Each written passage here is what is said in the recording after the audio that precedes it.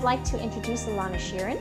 My name is Arnel McAtee, the creator of Arnel's Originals gluten-free baking mixes.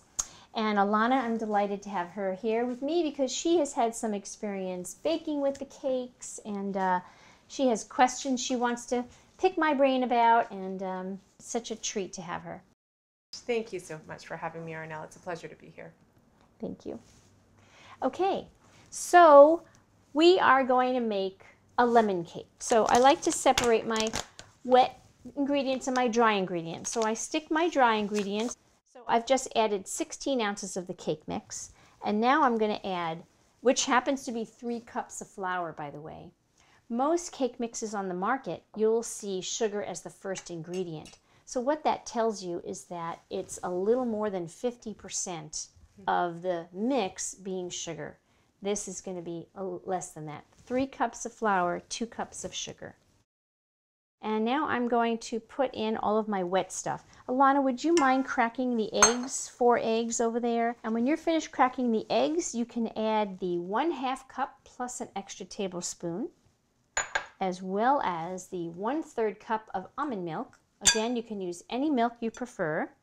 And while you do that, I'm going to zest four lemons and save one for the lemon curd. The zest is the very outside part of the lemon, which has the oil and the flavor and the aroma.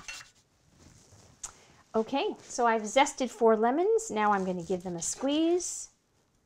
Okay, so for our liquid bowl, we have four extra large eggs, we have one third cup of almond milk, which you can use any milk you'd like. I chose almond milk. A half a cup of oil and one extra tablespoon. And now we need two thirds cup of lemon juice. So let's see how that goes. Okay, now I have all of my liquid ingredients, which I'm going to give a little beat to. It smells so good. and I'm going to Add all the liquid to the dry. And of course, I'm going to add my zest. Well, I don't like to waste. Why waste? That could be another bite or two, right? Exactly. We need all the goodness we can get. All right, and here's the zest from uh, four lemons. And it all goes in. And I like to just gently stir it so to avoid any big flour poops. So we stir it up. And even as I'm stirring this, because I have made so many other flavors, I see the chemical reaction happening from the baking soda and the acidity from the lemons. Just the nature of the beast. So now I'm going to spray these pans, pour it in, and we're going to bake it off. All right, one of the uh, questions that came up from Alana a few moments ago is about cupcakes. What's the best way to measure when you're spooning your cupcakes into the tin? Because I'm always, I don't know, I've never found the right, exactly the right thing to do. I usually use a, a tablespoon, but then they're not even, and then I know they don't bake quite evenly. Um, so what's your trick, Arnel? I love using these because I can get a sense of, for instance, this one would give me a decent sized cupcake. I'd put it in the bowl, make it flat, and plop, plop, plop, plop. They're all the same. Mm -hmm. If I'm using those little mini cupcake pans, this would be the ticket. Ah, lemon cake. Here we go. We've taken the uh, lemon cake out of the oven and uh, the toothpick said it was done. I did cook it for 35 minutes on 350 degrees. And now I'm going to set it aside to cool and in the interim, I'm going to show you how to make lemon curd slash lemon custard. Well, because the lemon cake is going to be amazing, but not quite that tart that I personally love, I thought I would show you a super easy way to make a non-dairy lemon curd or lemon custard. It's basically uh, five ingredients, uh, so I'm just going to add them one at a time. I'm going to add a quarter cup of lemon juice,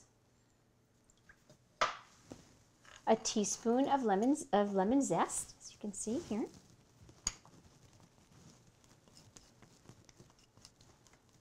A quarter cup of sugar plus a tablespoon.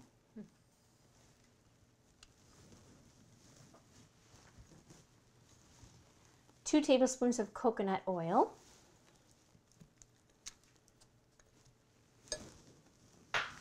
and two egg yolks.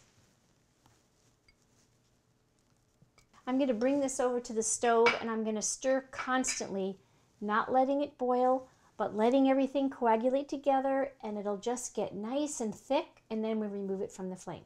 So come join me.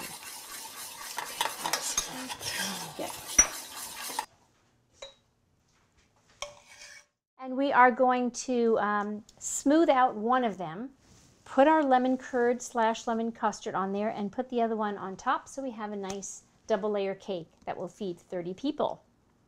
Now, if you have a cake knife or a serrated edge knife, sometimes called a bread knife, it works just fine to do the carve. You really do want to carve the cake so that it's flat. Otherwise, uh, the top layer, it's all funny and it wiggles around.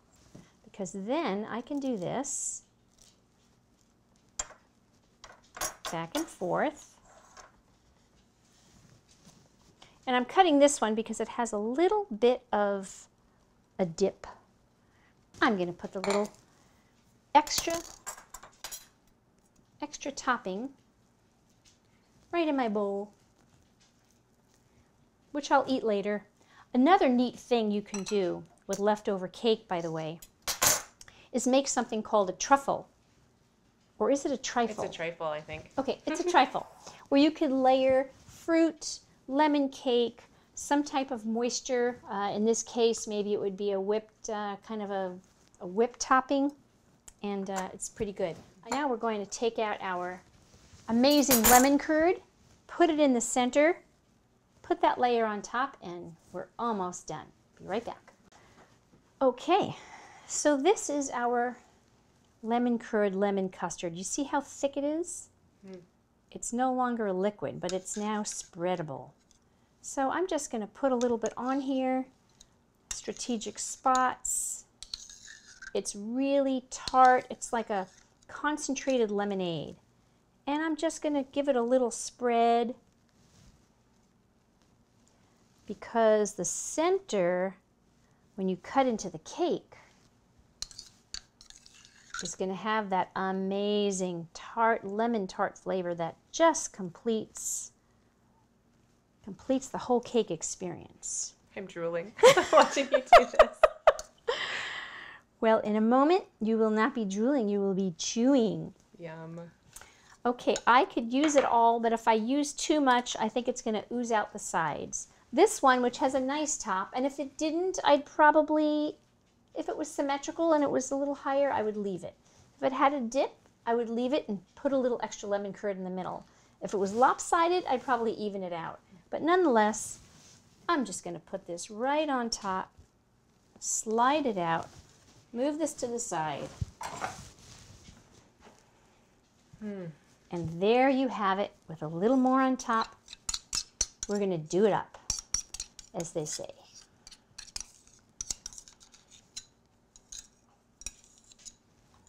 Alana, you're going to just have to do it first because I don't like to talk with my mouth full.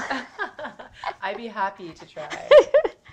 I just Okay. love, I really just love that you get to be creative and make these cakes your way. I mean, that's why you call it make a cake your way, but it, it's really true. It is very true. And as I said, I am not a decorator. Nothing about this is anything that you can't completely do. All right. Time to get the knife. Do the honors. I will get you a plate. Oh boy. Okay.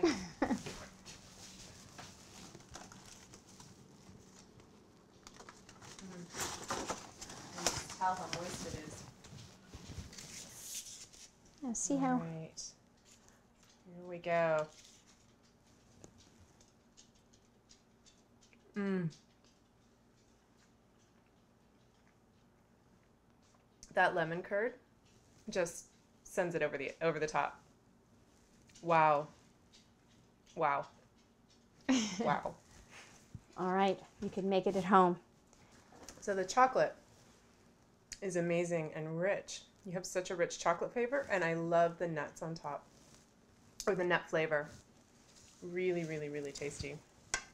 Your chocolate cake will be as good as the cocoa you use. So just find something you really like and it's going to be perfect. Which one was that? Spice? Mm-hmm. Yeah. Also, really moist and flavorful.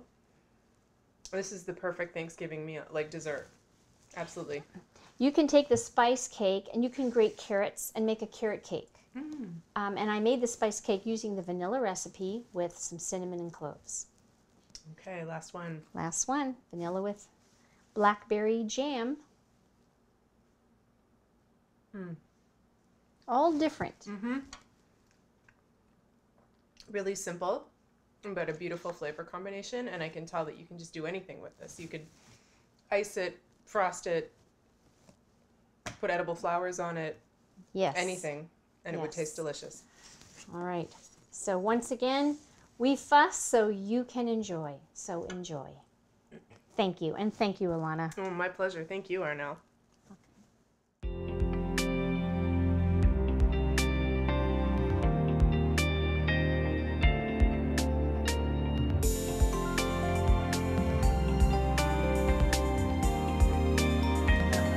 Subscribe now to receive gluten free tips, tidings, and trends from Arnel.